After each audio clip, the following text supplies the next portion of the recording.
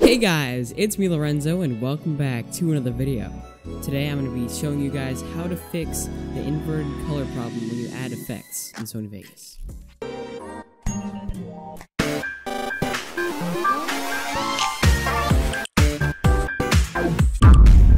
So this is just a video I made for my brother. Uh, it's just a quick video here and I'll show you a bit of it and it looks normal, normal colors like in real life. Now when I add this effect here, blur mo curves, it makes it inverted or turn blue, or if it's blue, I think it'll turn red. Like the colors get kind of inverted like this, but I have a fix for it. All you have to do is go to the effects, add effect,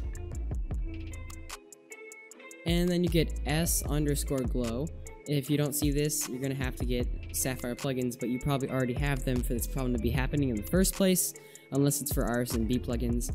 In that case, get uh, Sapphire plugins. And you just get S underscore glow, add OK, and you'll see it'll be glowy like this, but it'll be normal colors. So what you do is you just go here and then change the brightness to 0.001 and then you save it as a preset like I have. I have it as fix, exactly the same thing.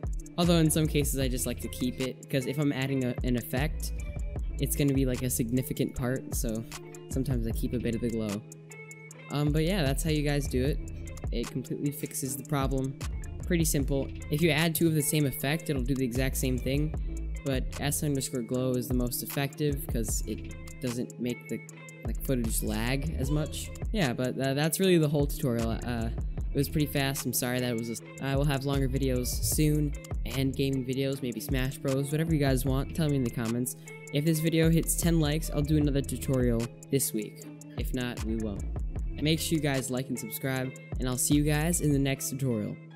Peace out.